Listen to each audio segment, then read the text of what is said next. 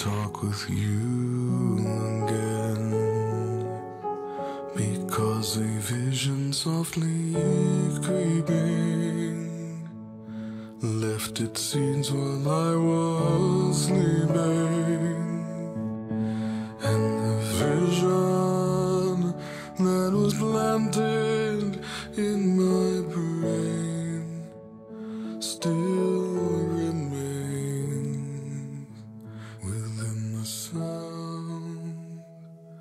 of silence. In restless dreams, I walked alone. Narrow streets of cobblestone. Neath the halo of a street lamp, I turned my collar to the cold and damp.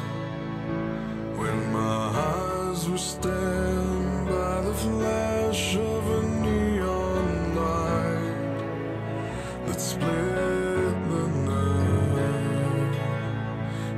touched the sound of silence.